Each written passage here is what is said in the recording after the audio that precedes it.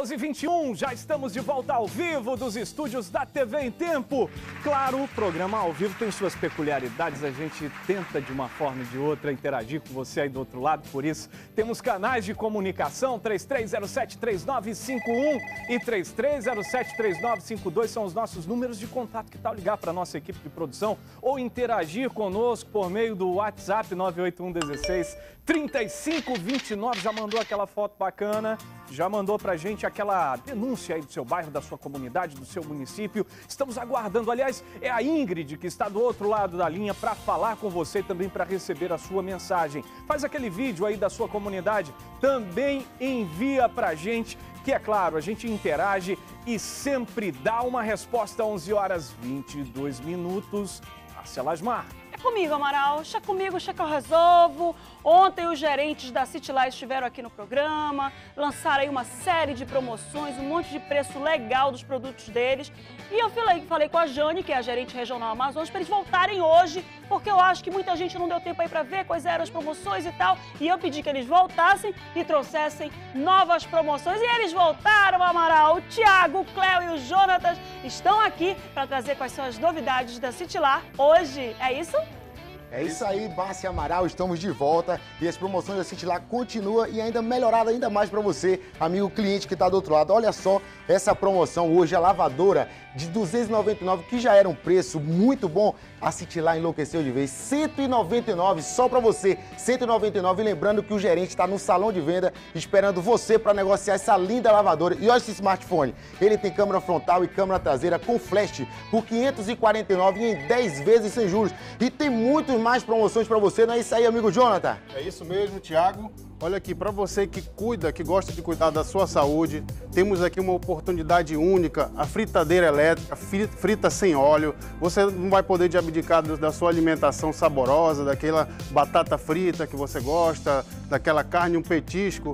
Você cuida da sua saúde e aproveita para comprar num preço imperdível de 459 reais por apenas R$ 299, mas é só hoje, em qualquer loja. Minha, vou adquirir a minha. tá muito baixo. Cléo. É isso mesmo, Jonathan. Gente, não perca a oportunidade hoje, é muitas ofertas, tá muito barato.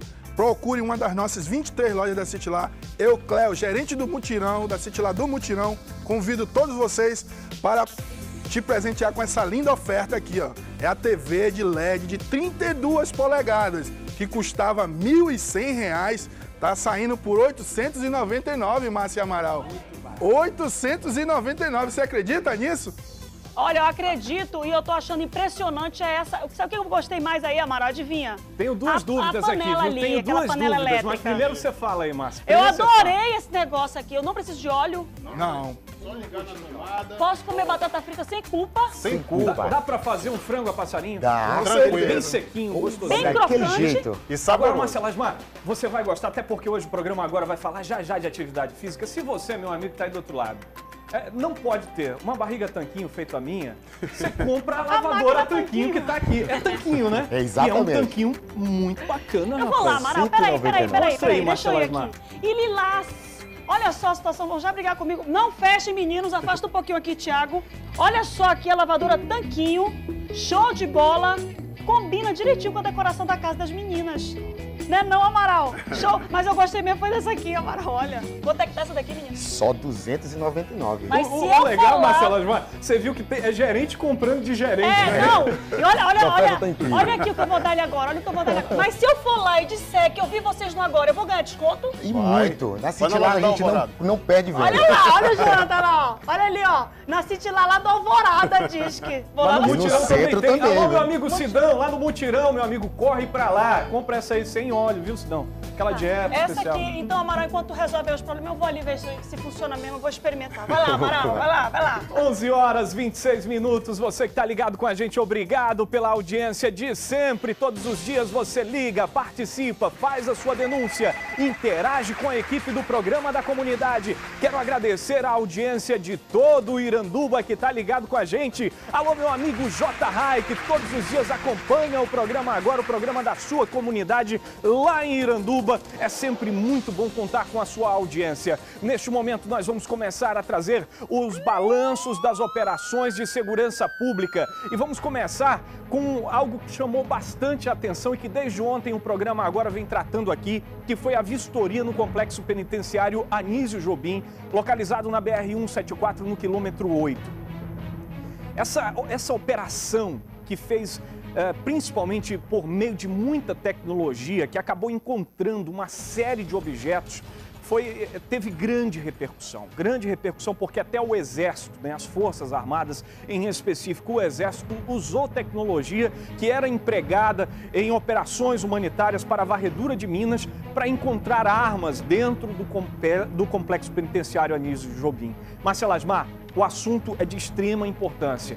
E aí a Secretaria é, Executivo Estadual de, de Administração Penitenciária acabou falando sobre uma das coisas que mais chamaram a atenção. Celas muito bem equipadas que não tinham nada a ver com celas e que pareciam apartamentos. Aliás, apartamentos com frigobar, com comida, com uma série de regalias, Marcela. Com um aparelho de videogame, um monte de coisa aí, é o que você vai ver agora aqui na tela. Coloca para mim. O Estatuto da Facção Criminosa impresso cadernos e neles a contabilidade, videogame, baterias, carregadores e celulares, mais de 20, alguns ainda envolvidos em preservativos, o que sugere como os aparelhos entraram na unidade prisional. Além dos celulares, o que chama a atenção é a enorme quantidade de artefatos, como esses aqui, os estoques utilizados para ferir e ameaçar os detentos dentro da unidade prisional. Mas não é só isso, ainda tem as cordas artesanais, as famosas Terezas, que poderiam ser usadas em uma possível fuga. A quantidade de objetos é tanta que a Secretaria de Segurança Pública ainda não fez a contagem.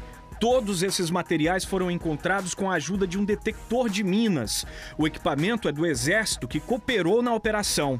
Um material já utilizado, já empregado em outras operações no Brasil, em apoio à segurança pública e também no exterior. A pergunta é: como tudo isso entra no complexo penitenciário? O comandante da Polícia Militar, responsável pela guarda externa das unidades prisionais, não acredita em facilitação. Não há facilitação, isso você diria que as pessoas que trabalham lá são irresponsáveis, não são profissionais e não é isso que acontece. Há falhas e precisam ser corrigidas. Agora, eu não, não posso afirmar das pessoas que, trabalham lá sem provas. Mas para a SSP, a forma como todos esses materiais entram nos presídios precisa ser investigada. Nós vamos esperar a provocação do Coronel Bonates, que é o secretário de Administração Penitenciária, para que ele possa nos disponibilizar o, a entrada, o acesso aos dados para que a gente faça a apuração. Lógico que tem que se apurar como aconteceu. Mas... Ainda segundo Sérgio Fontes, a ação do Estado pode gerar uma reação dos criminosos, mas as forças de segurança estão preparadas. A gente não pode se intimidar com o crime organizado. A gente não pode ter em mente as nossas ações com medo do que eles possam fazer. Nós temos que fazer o que temos que fazer porque é nossa obrigação, é nosso dever e a sociedade quer assim. Durante a vistoria ainda foi descoberto um túnel em construção. A escavação seria usada em um plano de fuga executado por detentos do pavilhão 5 do Compage. Todos os objetos devem ser destruídos ao fim das investigações. Novas vistorias vão ser feitas no Compage e demais unidades prisionais do estado. Olha só a situação, Amara, olha só o resultado dessa revista que envolveu aí as polícias e principalmente o Exército, para trazer esse balanço para a gente e quanta coisa que a gente, que, que eles encontraram e que a gente pode ver, o cidadão pode ver de resultado dentro do complexo penitenciário Anísio Jobim. Estoques, é, ferramentas, uma série de situações, uma série de celulares ainda ali é, dentro de, de, capas de como se chegou ali dentro do, do complexo penitenciário. É uma tristeza a gente ver como, infelizmente, esses presos têm acessos, né? Esses presos têm esses, essa, essa disponibilidade às suas mãos para poder fazer o que quiser, comandar as facções criminosas de dentro da penitenciária, comandar o crime de dentro, de dentro da penitenciária. É importante que a gente diga que quando um preso ele é detido, quando uma pessoa comete um crime, ele é tirado da sociedade e levado para dentro da cadeia, tem dois motivos. O primeiro motivo é pagar o que ele está devendo e o segundo motivo é a reflexão e tentar ressociabilizá-lo. e principalmente aqueles que comandam facções, organizações criminosas, tirá-los desses comandos para que consigam se desfazer, para que a polícia consiga atuar e desfazer essas organizações criminosas. Como que se desfaz organizações criminosas? Como é que se tira a autoridade que determinados é, chefes de facções têm portando celulares dentro da cadeia, portando cordas para fazer Tereza lá de dentro e principalmente tendo acesso a abrir ali túneis, túneis de dentro do, do, do da cela para fuga. Imagina você, fuga, Amaral. Olha, além de todos esses objetos que a gente está mostrando aqui, o que também chamou bastante atenção, eu falava isso agora há pouco, foi a, as celas especiais que foram localizadas dentro do complexo penitenciário Anísio Jobim. Você acompanha aqui na imagem uma dessas celas. Isso chamou bastante atenção. É, é algo que sai completamente dos padrões exigidos e, e, e padrões mesmo de cumprimento de, de, de, qualquer tipo de pena dentro de uma unidade prisional do, do país. E isso a, a, Secretaria de Administração Penitenciária acabou dando uma explicação e disse que a culpa é da Justiça. Isso é resultado de uma determinação judicial. A Justiça é que disse, é que orientou que fosse assim e por isso é que está dessa maneira. Vamos acompanhar a reportagem, já já a gente comenta tudo isso aqui. Solta aí, diretor. Durante a operação dentro do presídio, a cela que mais chamou a atenção foi essa. Toda na cerâmica, com sistema de som, instrumento musical e estoque de comida. Nessa foto é possível ver os detalhes da decoração. Um boato de que a cela seria do traficante Zé Roberto logo se espalhou pela internet, mas o secretário não confirmou. Não sei porque eu não conheço preso por preso, não sei em que cela ele mora. E disse ainda que pelo menos 20 celas estariam nessas condições e que não há nada de errado com elas. Qualquer preso pode usar essas celas chamadas de cela íntima ou motel, como eles chamam. É cela para visitação íntima, é usado pelas famílias, inclusive. Por isso que foi dado, o juiz autorizou esse conforto melhor, porque também as famílias frequentam essas celas no dia de visita. Ele disse ainda que as regalias foram autorizadas pela Justiça. Nós não discutimos ordem judicial. Pode judicial se cumpre, não se discute. É determinação do juiz que aquilo ali permaneça e vai permanecer até ordem contrária da justiça. Em outras celas, ainda foram encontrados muitos preservativos, drogas e estoques feitos com chave de fenda e materiais de jardinagem. Quanto às drogas encontradas dentro da unidade prisional, a Secretaria de Administração Penitenciária já investiga como elas entraram. Se tiver ocorrido facilitação, os responsáveis responsáveis serão punidos e até demitidos. 1.261 presos cumprem pena no Compage. A capacidade é para apenas 454 detentos. Veja só que situação, né? Tem pelo menos 15, quase 20 celas equipadas dessa maneira, que trazem um tipo de regalia muito estranha. E ontem nós comentávamos isso no Jornal em Tempo e, e dizíamos o seguinte, que aos olhos do cidadão de bem, e, e isso acaba deixando muito indignada a sociedade, não existe cumprimento de pena, não existe medida coercitiva, já que o detento, o interno, na unidade prisional tem às vezes até mais regalia do que ele teria do lado de fora. E o pior de tudo isso é que tem gente comandando o crime organizado de dentro da unidade prisional. E eu diria, entre aspas aqui, com escritórios muito bem equipados. Mais de 20 celulares foram encontrados lá dentro celulares inclusive com os quais se acessa a internet e se coloca foto na rede social. Coisas absurdas. E aí eu fico me perguntando, como é que se admite isso? E não adianta colocar a culpa na justiça. Porque a vara de execuções penais, o juiz Carlos Valois, no momento em que ele determina que haja um ambiente digno, digno para o detento, ou seja, para que ele não seja tratado como um animal, ele não está dizendo lá na decisão dele que tem que ser uma cela como essa aqui. Isso aqui é um absurdo. Como é que entra material de construção? Como é que entra celular? Como é que entra madeira? Como é que deixa cavar túnel dentro de uma unidade de segurança máxima como é o, o Compage ou o Pavilhão 5, que é do regime fechado? E aí, para quem, quem são os responsáveis por isso? Vai penalizar o juiz agora, responsabilizar o juiz? Porque eu garanto que dentro da determinação da justiça não está escrito lá que a cela tem que ser revestida eh, de cerâmica, o piso tem que ser de porcelanato. Eu garanto que não tem. Isso é bom para o cidadão entender. Não tem dizendo que na cela tem que ter lá a comida, tem que ter filé guardado com gelo, o gelo tem que ser renovado todos os dias, não tem que ter cama, sistema de som, equipamento de som, uh, instrumento musical, bebida, droga. Qual juiz maluco vai fazer isso? Não existe. Então, no momento em que a Secretaria de Administração Penitenciária diz que cumpre-se aquilo que está uh, determinado pela Justiça, ela não diz, por exemplo, como esse material entrou, porque esse material vai exatamente contra tudo aquilo que a gente pensa de uma unidade prisional que está ali para punir. A prisão não é um ambiente tranquilo, é um ambiente de punição. Márcia Lasmar ambiente, Amaral, que tem que ter regras, é um ambiente que tem que ser igual para todo mundo. Todos os presos, dentro dos pavilhões e dentro das celas, ali dentro do complexo penitenciário Anísio Jobim, precisam obedecer regras. E essas regras são iguais, são isonômicas, são igualitárias para todos os presos. Então, não vem com essa história realmente de dizer que essa cela aí é do preso fulano, essa cela é não sei o quê, e culpar o juiz que nem na cidade está para fazer uma referência aí junto à imprensa. O Carlos Valuá, que é o juiz responsável pela vara de execuções penais, está em Brasília e não está aqui nesse momento para poder se fazer referência e dizer o que, afinal de contas, ele autoriza ou não autoriza. Mas com toda a certeza absoluta, com clareza solar, como o Amaral muito bem o disse, o juiz da vara de execuções penais não vai autorizar regalias para preso nenhum, até porque ele é juiz e ele precisa ser imparcial. E isso já é regra, é princípio do direito e princípio, principalmente da nossa Constituição Federal, que determina lá quais são as obrigações jurisdicionais.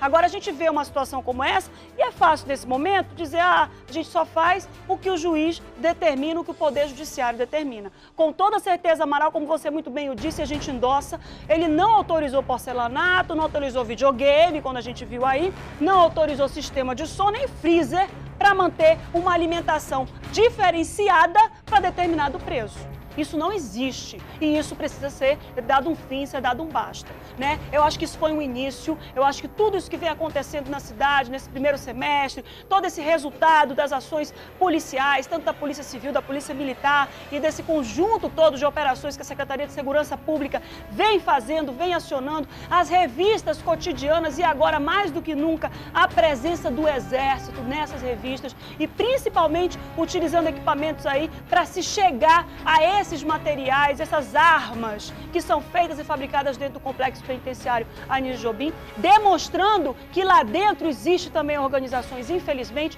e existe preso que manda, quer ser chefe e acaba determinando regras dentro do complexo penitenciário, onde quem deveria, quem deveria determinar tais regras era a justiça, eram as autoridades legais e legítimas é, imbuídas, e não preso, como está acontecendo aí, Amaral. 11 horas e 39 minutos, nós vamos mudar de assunto Nesse momento, nós vamos voltar a falar ao vivo com o nosso repórter comunidade, Fred Rocha, que, como eu disse no início do programa, está naquele sol a pino, sol mesmo causticante. Cadê o Fred? Bota ele na tela porque ele vai falar de atividade física. Eu tenho certeza que ele vai perder umas calorias. O nosso repórter cinematográfico Sidomir Matos já está com medo, está ali tremendo porque o sol. Mas, rapaz, o... é o Fred mesmo, rapaz?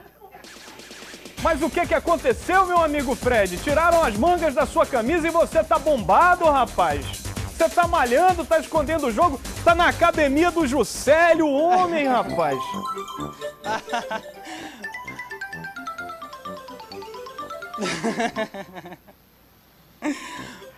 Amaral Augusto, olha, fica o convite para você da próxima vez aqui junto com a Márcia Lasmar em fazer esse treinamento funcional aqui, porque olha, no sol aqui do meio-dia não é fácil, mas nós vamos falar, frisar aqui sobre uma corrida que será realizada no próximo sábado na Ponta Negra, a RM Room. E aí mil pessoas já se inscreveram e só restam 30 vagas. Na verdade, só restam 29, porque uma das vagas nós vamos sortear no programa agora. Então você que está acompanhando o programa agora, quer participar da corrida, daqui a pouco nós vamos sortear aí ao vivo no programa. Eu estou aqui com o Rogério Mello, professor responsável aqui pelo treinamento funcional. Professor, primeiro fale um pouco dessa corrida. Qual vai ser o trajeto? Que horas começa? Que horas termina? Ok. Bom dia, pessoal. É, a partir das 16 horas, lá na Ponta Negra, né, percurso Alphaville, né, mas a partir das 16 horas nós vamos começar com uma aula de Muay Thai, né, pela federação, oferecida pela Federação Amazonense, né, mediante o presidente Rômulo, agradecido aí. E a partir das 16h30, 16h40, é, mais tardar, nós vamos ter uma aula de dança, né? E logo em seguida, a corrida às 17 horas, 17h15, né, com alongamento.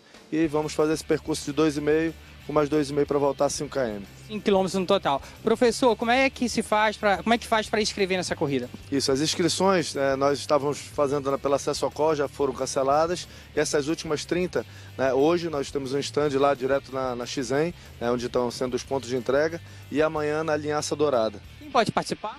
É, não tem, não tem idade limite, né? Qualquer um pode se inscrever, né? Hoje já é na faixa de 60 reais, dá direito ao seu kit, né? E toda a estrutura do evento. Agora a gente está acompanhando aqui o pessoal fazendo funcional. É importante também fazer essas atividades aqui para preparar o pessoal para a corrida, né? Explica para a gente aqui a, a, o motivo do pessoal estar tá fazendo funcional. Isso, o treinamento funcional é uma, uma, atividade, né, como outra qualquer, um exercício físico, né, como outro qualquer, né, que abrange várias, várias valências mesmo da, da, da atividade física, né trabalha sua força, trabalha a velocidade, a coordenação motora, né? ele ajuda no teu condicionamento físico. Né? E com certeza o pessoal busca muito isso para perca de peso, né? perca de medidas, né? um ganho de condicionamento físico mesmo, né? sendo atleta ou não. Ok, agora nós vamos falar aqui com o pessoal que está fazendo funcional, porque, como o professor já bem ressaltou, é aqui uma atividade muito importante, o pessoal utiliza aí para perder peso. E nós vamos conversar ali com a Daniele, olha só, ela está vindo ali. A Daniele foi, é, é uma dessas pessoas que já teve um benefício por meio do funcional. Bom dia, Daniele. Fala pra gente aí, o que, que o funcional já trouxe é, de benefícios para sua vida? Bom dia, tudo bem? Então, a experiência do funcional foi maravilhosa. Cansada. A gente teve a oportunidade de perda de peso, melhoria de vida, saúde, condicionamento físico. Então eu não corria nada, hoje em dia eu já corro 4, 5 quilômetros. Então assim, é uma vantagem gigantesca. A gente tem dança, tem Muay Thai, tem o nosso Cross RM. Então não tem como não fazer nada. E é muito legal. Quantos quilos você perdeu desde quando você começou a fazer essa atividade? 15 quilos. Incrível. E assim, a manutenção se dá pela prática. Não tem mágica. É você vir praticar com frequência e com certeza melhora sua qualidade de vida. Okay. Agora a corrida aí é uma continuação dessa atividade aí para quem faz é, o funcional, quem faz luta, qualquer atividade, a corrida é uma boa pedida. Conversar mais uma vez com o professor Rogério, porque é o seguinte, professor, quem se inscreveu aí para participar desta corrida, depois disso vai ganhar uma semana de aula grátis aqui de luta funcional. Explica pra gente como é que é. Isso, né? Todo mundo que, né, que se teve essa inscrição feita, nós temos uma lista do pessoal, né? Vai chegar direto conosco aqui no CSU do Parque 10 ou na Praia da Ponta Negra, né, para ter uma semana de aula né, gratuita, que é o treinamento funcional, o cross RM, futevôlei, né, masculino, feminino, criança, né, tem aula de Muay Thai e tem as aulas de corrida também, né? Pode, pode me ligar né, pelo telefone 981 14 0546 direto comigo mesmo. Agora, professor, além da importância de estar bem preparado para uma corrida dessa, tem também aquela preocupação com a alimentação. Para as pessoas que vão participar da corrida, qual a alimentação adequada antes da corrida para não passar mal aí é, durante esse percurso? Isso, né? A corrida como vai ser feita na, na base de 17 horas, 17h30, né? uma alimentação mais ou menos de 3 horas antes da corrida, né? Que é o lanche. Né? O lanche com carboidrato, voltado para carboidrato. Um sanduíchezinho natural, né? com pão integralzinho, um queijo, né? bastante verdura. Isso já vai dar uma segurada. Uma banana pode ser também. Né? Sempre uns alimentos voltados para carboidrato mesmo. Ok, professor, obrigado. Olha só, Daqui a pouco, Amaral, eu não sei, eu vou pedir a sua opinião aí. Você acha que eu também entro aqui nesta aula de funcional ou não? Eu não sei se eu aguento, rapaz. Estou muito magro. Até que o sol agora deu uma amenizada, mas eu deixo com você. Você acha que eu devo entrar aqui na aula de funcional? Fred, Daqui a pouco você amigo, me responde. Fred, é uma oportunidade, além de você bronzear o restante do seu braço, que tá bicolor, você vai conseguir equalizar isso aí, mas é uma oportunidade de você correr de sapato, porque lá no nosso futebol você só corre descalço, meu amigo. Daqui a pouco, não apenas eu, mas a comunidade quer lhe ver aí no funcional, fazendo os exercícios e a gente volta a falar ao vivo, combinado?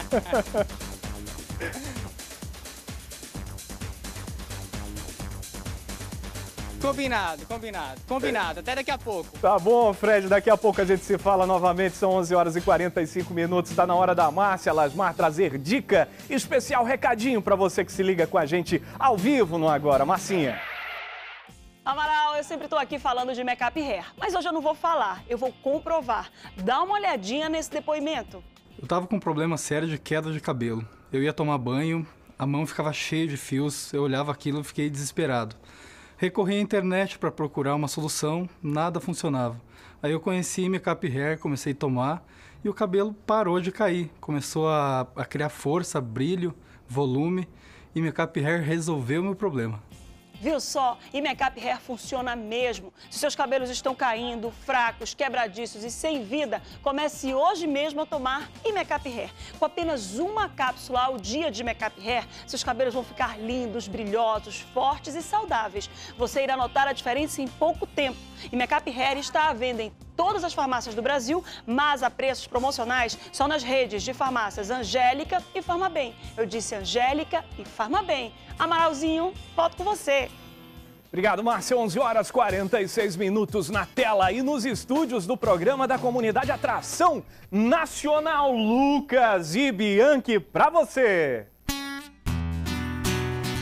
Ponto final.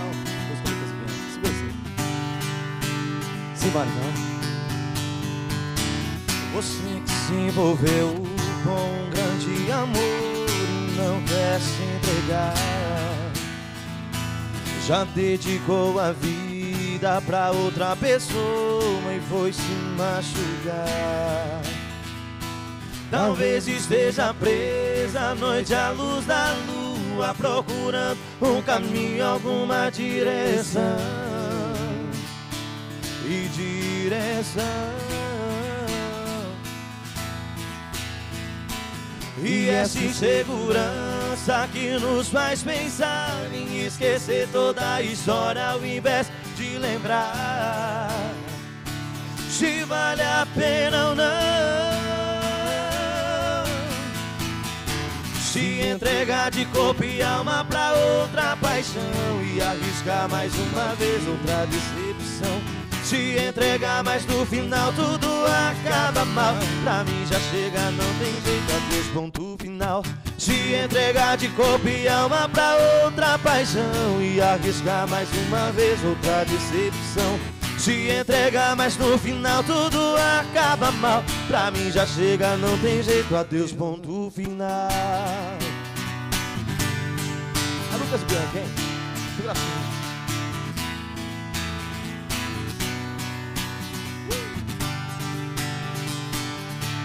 Talvez esteja. Vem. Talvez esteja presa à noite à luz da lua, procurando um caminho, alguma direção. E direção. E essa insegurança que nos faz pensar em esquecer toda a história ao invés de lembrar se vale a pena ou não. Simbora! Se entregar de corpo e alma pra outra paixão e arriscar mais uma vez outra decepção. Se entregar, mas no final tudo acaba mal. Pra mim já chega, não tem jeito, adeus, ponto final. Se entregar de corpo e alma pra outra paixão e arriscar mais uma vez outra decepção. Se entregar, mas no final tudo acaba mal. Pra mim já chega, vem de novo assim, vai. Se entregar de corpo e alma pra outra paixão e arriscar mais uma vez outra decepção.